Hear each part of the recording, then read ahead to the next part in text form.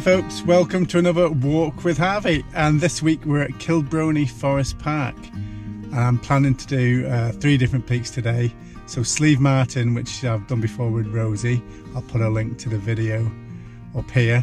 That's the one where we got locked in the car park at the end of the day and had to phone somebody to let us out. So today I've come up to the top car park which uh, yeah cuts a bit of the lower slopes off but uh, yeah I've done them before anyway so that's not not a big problem.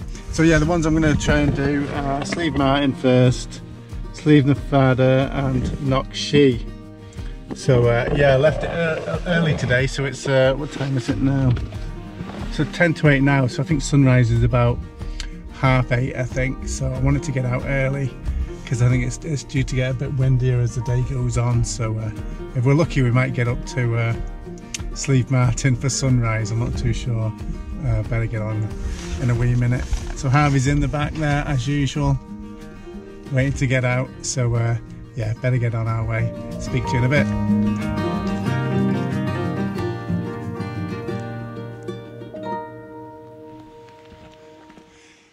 If you saw the other video, you will also have seen us going to the big stone as well. So uh, yeah, you can go directly there from this top car park. It's not a massive walk, that's worth doing as well if you've not got much time. Heading left out of the car park, up through the forest to our first summit, Slieve Martin.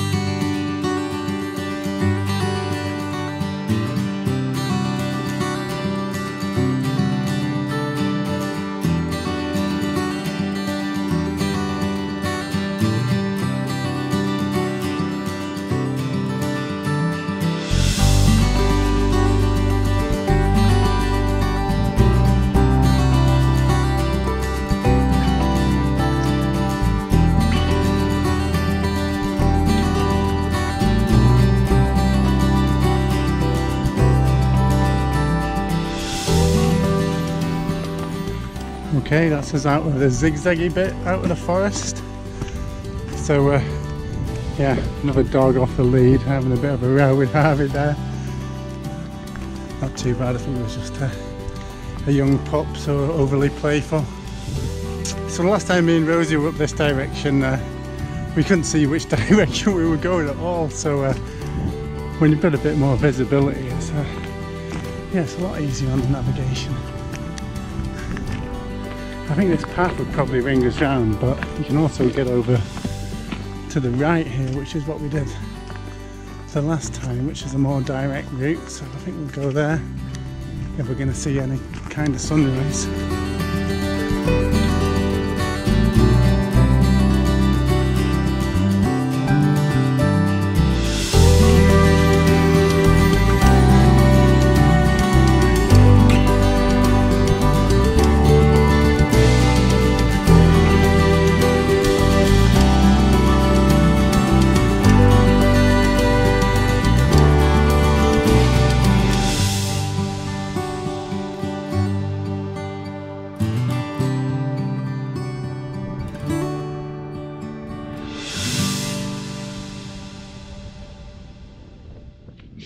Okay, that's us on the top of Slieve Martin. It's good to actually get some views today over Carlingford Lough.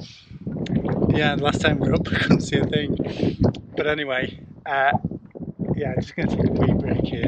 Just looking over across at this wee peak over here.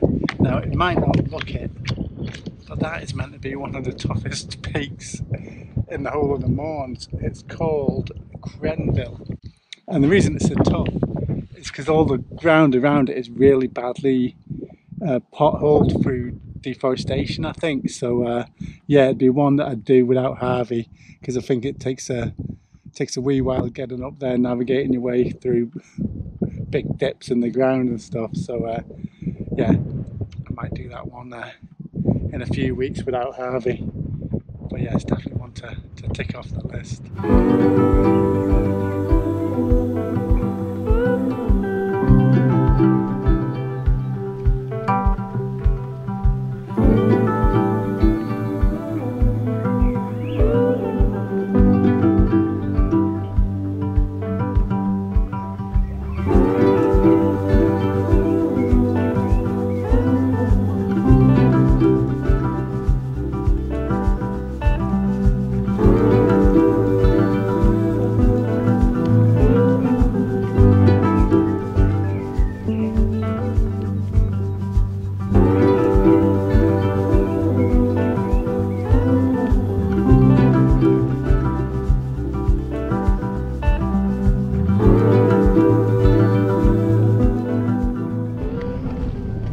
Met another couple of people that have uh, seen the channel.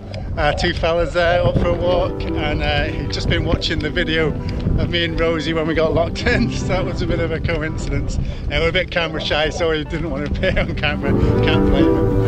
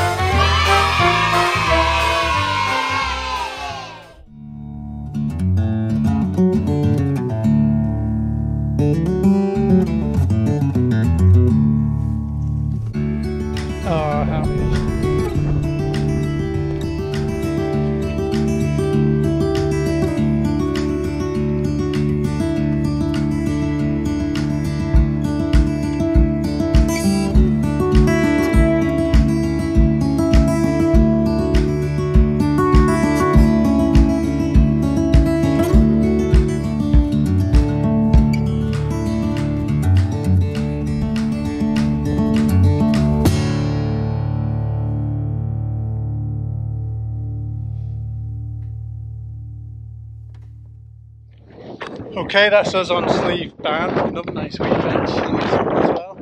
I suffer very badly from wind. Great views over Rostrevor across Carlingford Lough to the Cooley Mountains over there. So that's in the Republic of Ireland. So if you're visiting here from anywhere else and uh, you're not familiar with the territory over here, uh, you can tell which side of the border you're on by the, the crisps. If your crisps look like this, you're north of the border, and if your crisps look like this, uh, then you're south of the border. And it's two different companies. I believe the company in the north bought the recipe of the company in the south and kept the same name and a very similar uh, logo as well. So there you go.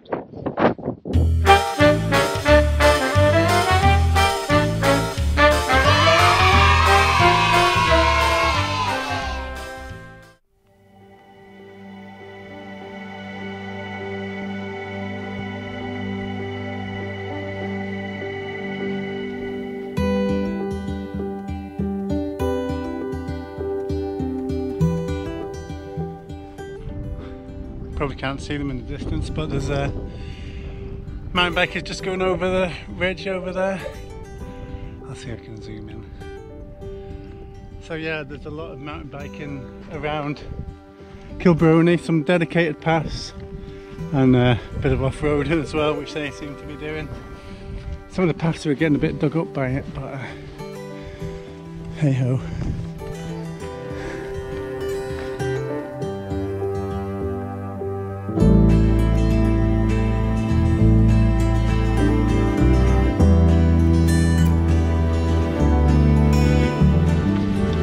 Ready for this narrow bridge again, Harvey? Pull me over.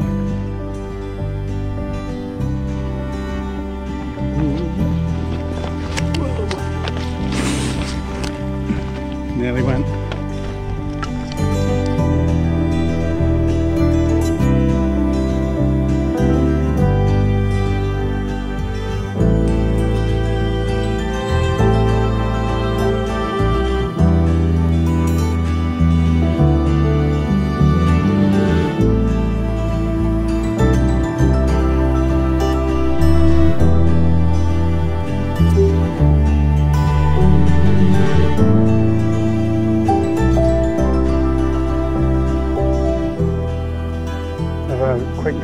Uh, the Mourne's most toughest peak, supposedly.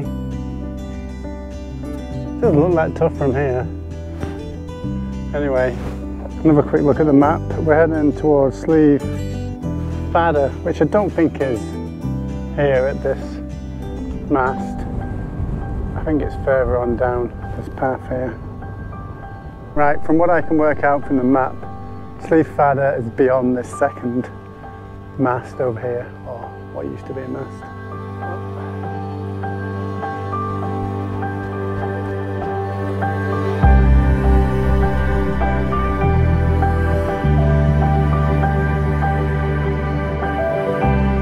Just looking at that sign on the building there. It says site Killowen Mountain. I can't see any Killowen Mountain on here. So you can see the uh, the masts, the two symbols there and there. So uh, yeah, I don't know where they're going, getting Killowen Mountain from. I must Google that when I get in. But anyway, uh, yeah, it's fairly clear from the map that we're heading in the right direction. I'm going to head along here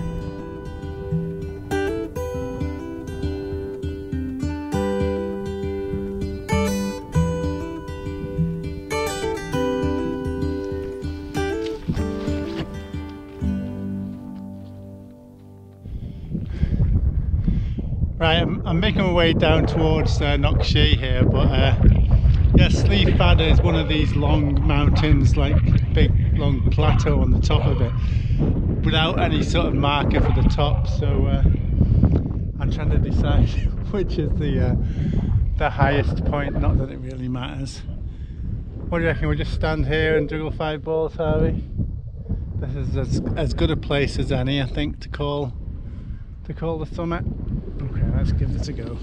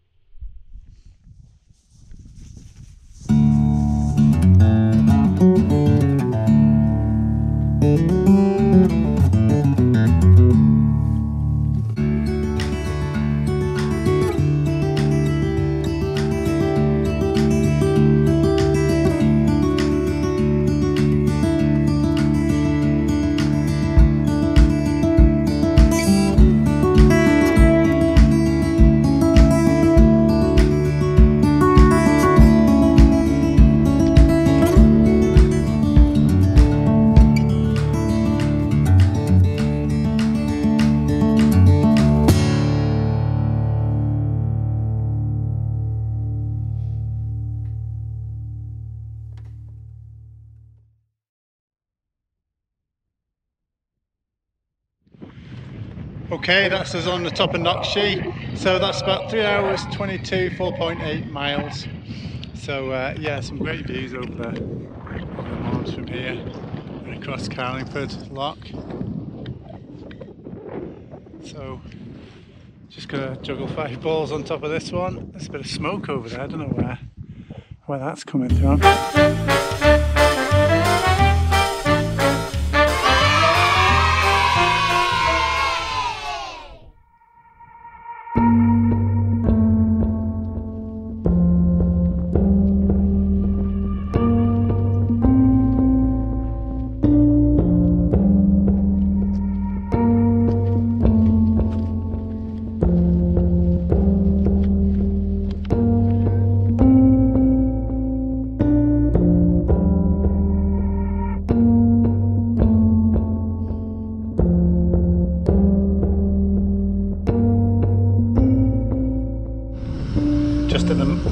Here getting another cup of tea on the stove.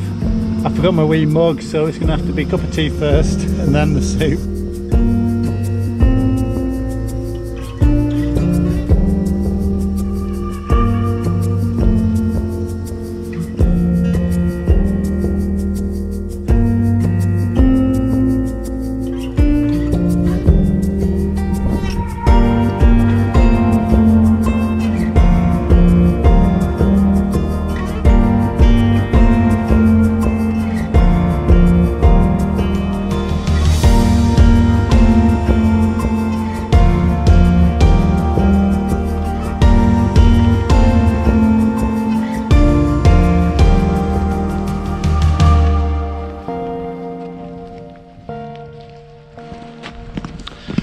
Right, that's us off the tops there. It was getting a bit cold up there. The wind chill was pretty, pretty nippy. So uh, glad to be back in the forest park. A bit, where it's a bit milder. So rather than go back down the zigzags that I came up earlier on, I've decided I'll go down this path, uh, which leads us to the Cloughmore Stone. So uh, yeah, go there and then loop back around towards the car park. If you're doing this walk, keep your eye out for these trails these small trails that you can see on the left. The signpost is for no walkers, and that's because they're mountain bike trails. So there's a good lot of mountain biking around Rostrevor, which I must do at some point. The only time I did it before was with the kids when they were really young and it was a bit too much for them so we didn't end up actually doing that much but yeah I'd love to get out and do a bit more mountain biking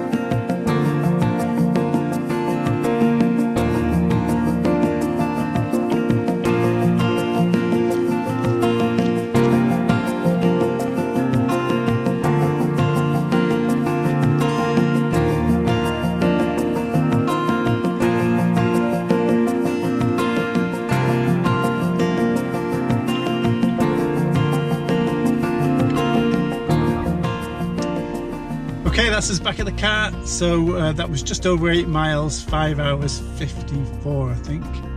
Yeah, something like that anyway. So yeah, it's good to get a few of these ones uh, ticked off. If I was going to do it again, uh, or if you were going to do this route, I'd suggest uh, doing it a little bit different to what I did. I'm just getting the map out here, bear with me. So the route that I took was from this car park here, the upper car park at Kilbroney, and then um, zigzag through the forest up to the summit of Slieve Martin, and then I came back down, did Slieve Meen, and went down to Slieve Ban, and then back up past Slieve Meen, down past the masts, across Slieve Fada, down to Knockshee. So yeah, if, if you were going to do this one, what I'd suggest is uh, start at the same place, obviously, uh, up the zigzags, up to Slieve Martin, and then straight across towards the masts, down to Knockshee first, come back up, and then make your way down to Slieve Meen, Slieve Ban, and then make your way down to the Cloughmore Stone that way and back to the, the car park and that would be more of a loop than what I did. But anyway yeah still a few more around the other side to do. Uh, Slieve Bain Slieve Dermot is that? I'm getting a bit of a crease in my map there. So they I'd maybe do them in one day. I d- I wouldn't know whether I don't know whether I'd do them as well as Crenville. I wonder what they're like actually. Maybe they're as difficult as Crenville with its crevices so yeah, there's a few more around here still to be done. Sleeve Meal, Leckenmore and Slieve Roosley are the ones I did the other week. So uh, yeah, still plenty left to do anyway. But uh, if you're new to this channel, I do regular walking videos and juggling videos occasionally. So hopefully there'll be a bit more juggling this year as things start to open up again after the pandemic. But if you haven't done already, subscribe, give us a wee thumbs up and hopefully we'll see you on another one. Cheers, bye.